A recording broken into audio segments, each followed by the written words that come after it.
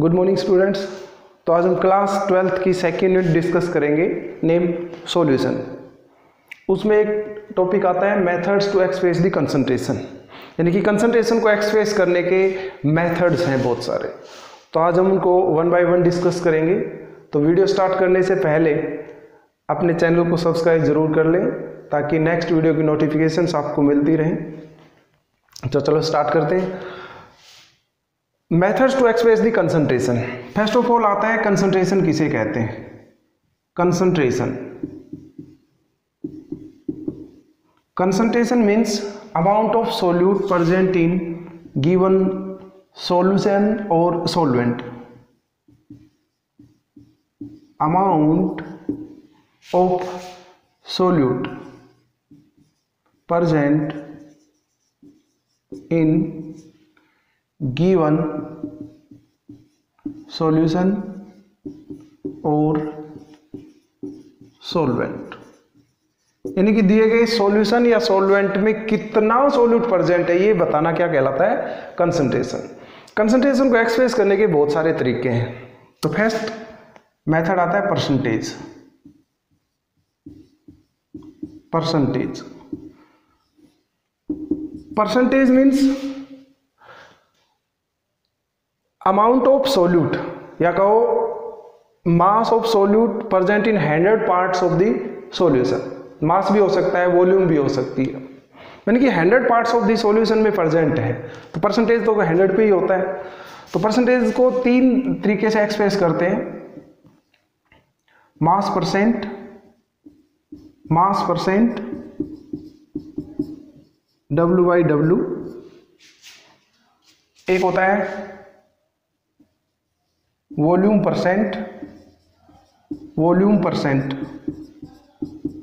V by V और एक होता है mass by volume percent, mass by volume percent W by V अब ध्यान से सुना बहुत सिंपल सी डेफिनेशन बता रहे मास परसेंट का मतलब mass of solute in gram present in hundred gram of the solution आगे डब्लू का मतलब ग्राम और पीछे भी डब्लू है मीन्स ग्राम। किसका? लास्ट वाला सॉल्यूशन का यूज़ करेंगे और पहले वाली टर्म सोल्यूट के लिए यूज़ करेंगे। तो डेफिनेशन क्या होगी? Mass of solute in gram present in hundred gram of the solution mass of solute in gram present in 100 gram of solution. बड़े सिंपल सी ये डेफिनेशन है। किसी सोल्यूट का मास ग्राम में 100 ग्राम सॉल्यूशन में कितना परसेंट है? नेक्स्ट है, volume percent V by V तो शुरुआत वाली किसकी टर्म होती है? सोल्यूट की। और लास्ट वाली किसकी होती है? सॉल्यूशन की। तो यहाँ वॉल्यूम की बात चल रही है। तो आप कह देंगे कि volume of solution in M L present in hundred M of the solution तो चलो बताओ, इसी की डेफिनेशन बनाओ वॉल्यूम परसेंट को बताओ। तो वॉल्यूम परसेंट की यहाँ डेफिनेशन लिख देते हैं, बताओ। वॉल्यूम परसेंट में क्या आएगा? वॉल्यूम परसेंट में आएगा volume of solute volume of solute in M क्योंकि स्मॉल लेवल पर लेनी है अपने को। M L present in hundred M L of solution clear मैंने बताया था कि फ़र्स्ट वाली किसके लिए यूज़ होगी? सोल्यूट के लिए। और दूसरी किसके लिए होगी? सॉल्यूशन के लिए। तो volume of solute in M L present in hundred M L of the solution mass by volume बताइए। बताओ। फ़र्स्ट किसका होता है? सोल्यूट का। तो solute mass of solute in 100 M L of the तो बताइए क्या हो गया? Mass of solute in gram present in 100 M L of solution ठीक है भाई? तो मास परसेंट का नेक्स्ट हम फार्मूला करेंगे। तो बताइए फार्मूला क्या होगा मास परसेंट का? डेफिनेशन तो इनकी होगी। है मास परसेंट का फार्मूला बताइए जल्दी से मास परसेंट का फार्मूला सभी का फार्मूला करेंगे। डेफिनेशन आप कर चुके हो। तो ऊपर क्या है?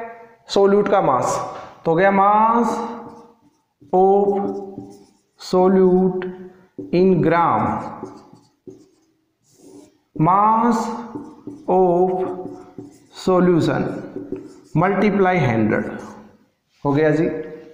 सोल्यूट का मास ग्राम में total mass of the solution multiply hundred hundred तो सभी में मल्टीप्लाई होना ही है क्योंकि परसेंटेज है तो हंड्रेड पे आती है।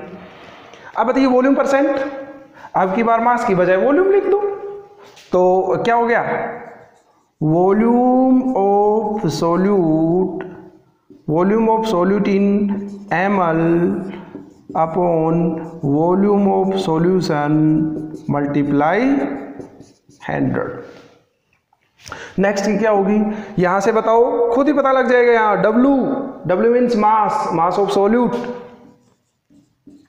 mass of solute in gram upon नीचे वी है तो क्या आएगा? Volume of solution multiply hundred clear तो परसेंटेज में क्या होगा? Hundred parts of the solution लेना है। डब्ल्यू बाई डब्ल्यू में दोनों ही चीज़ें ग्राम में आएँगी मतलब मास आएगा और वो ग्राम में। वॉल्यूम एम एल में यूज़ करेंगे और या मास बाई वॉल्यूम में क्या करेंगे? Mass of the solute in hundred M L of the solution ठीक है नेक्स्ट मेथड कर लेते हैं।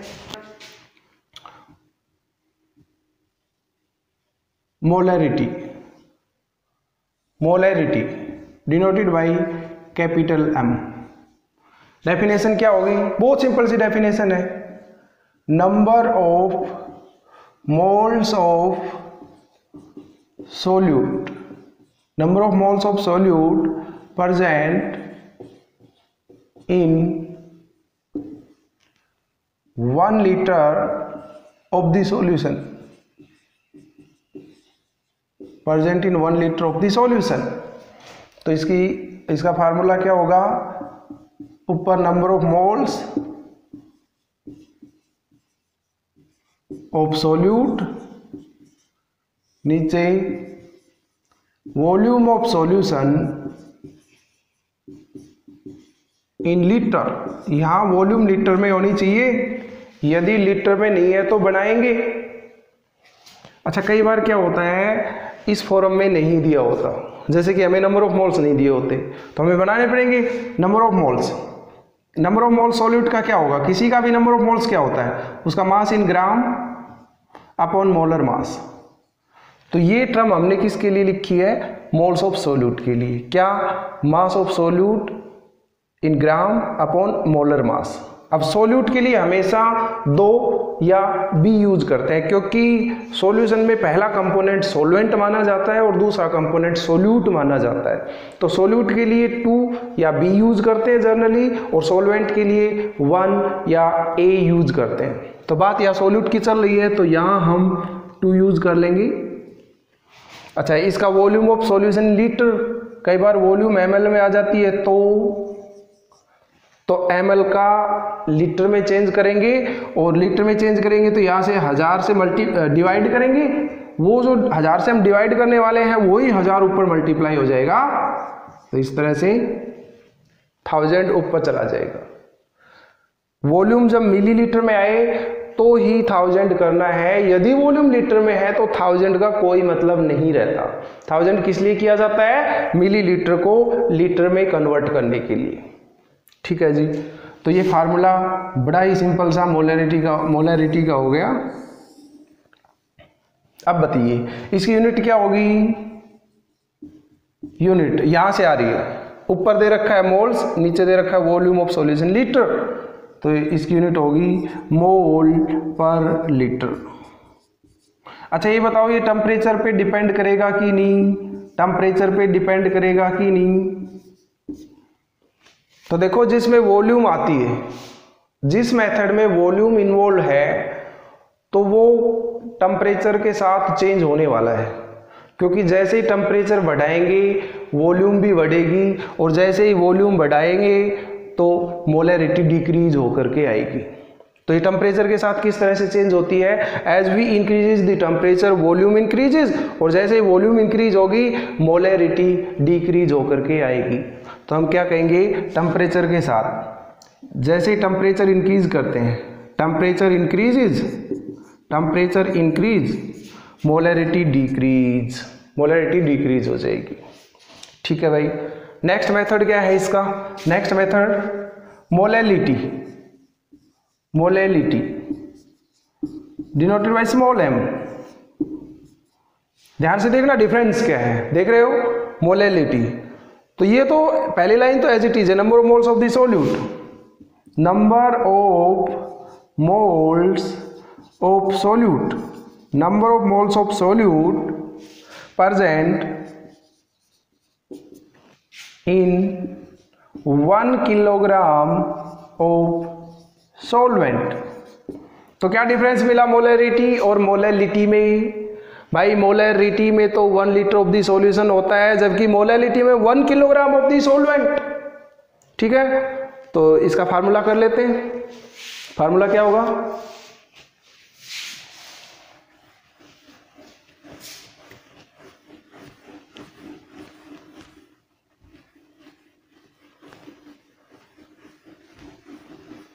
बताइए। यहाँ से इसकी डेफ, इसकी डेफिनेशन से फार्मूला पता लग जाएगा। हमने दे रखा है number of moles of the solute present in one kilogram of the solvent तो मोलैलिटी का फार्मूला हो गया number of moles of solute upon mass of solvent in kilogram in kilogram देख सकते हो यह दे रखा है किलोग्राम ऑफ़ सॉल्वेंट अब कई बार नंबर ऑफ़ मोल्स नहीं दे रखे होते हैं तो हमें बनाने पड़ेंगे।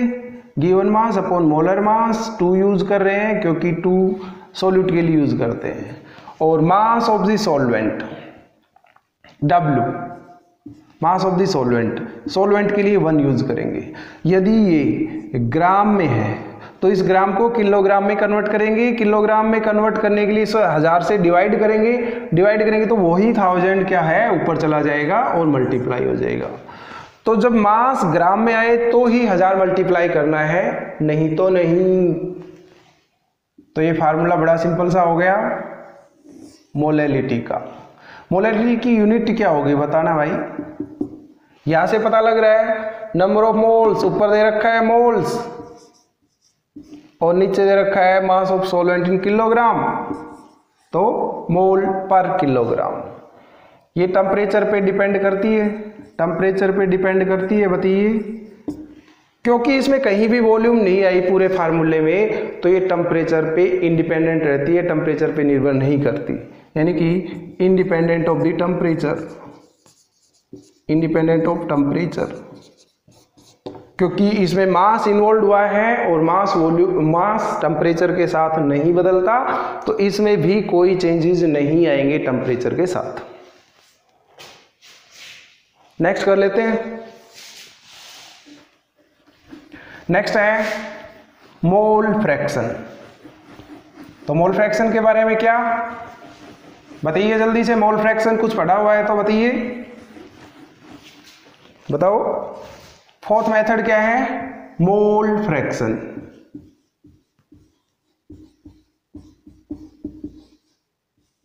mole fraction denoted by capital X mole fraction क्या कहता है? Number of moles of that component that component जो हमें दे रखा है, जिसका हम मोल फ्रैक्शन निकाल रहे हैं। Number of moles of that component to total number of moles of solution.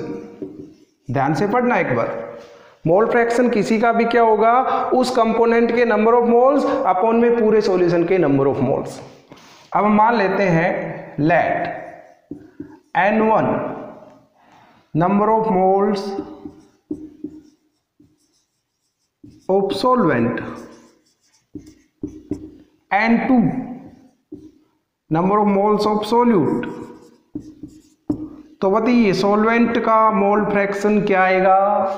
Solvent के नंबर ऑफ़ मोल्स ऊपर अपॉन पूरे सॉल्यूशन के नंबर ऑफ़ मोल्स पूरा सॉल्यूशन में दो ही तो कंपोनेंट है. सोलवेंट और सोल्यूट उसके नंबर ऑफ़ मोल्स जोड़ दो सॉल्यूशन के नंबर ऑफ़ मोल्स आ जाएँगे.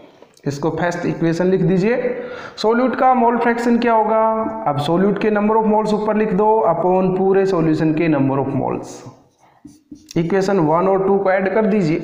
Adding equation one and two adding equation one and equation two तो बताइए, यहाँ कर लेते हैं। इक्वेशन वन और टू को ऐड करो। लेफ़्ट साइड जोड़ी हमने। X one plus X two right side जोड़ो। N one N one plus N two plus N two N one plus N two यहाँ से एलसीएम क्या आया? सेम है। तो एलसीएम आ गया N one plus N two इसको इससे डिवाइड किया वन आया, ऊपर मल्टीप्लाई किया एन वन इसको इससे डिवाइड करेंगे वन आएगा, ऊपर मल्टीप्लाई करेंगे एन टू अब आप क्या देख रहे हो? ऊपर वाली टर्म और नीचे वाली टर्म सेम है। तो कट गई भाई। इसको ऐसे कर लो। कट गई वन आ गया। तो बताओ, यहाँ से क्या आया आपके समझ में? कि मोल फ्रैक्शन सॉल्यूशन का हमेशा वन रहेगा। Mole fraction of the solution is always unit भले इसमें कितने भी कंपोनेंट क्यों ना हो जाए, चार हो जाए, पाँच हो जाए, लेकिन टोटल जो नंबर ऑफ़ मोल्स जोड़ेंगे मोल फ्रैक्शन जोड़ेंगे हमेशा यूनिट आएगा। यानी कि X one plus X two equal to one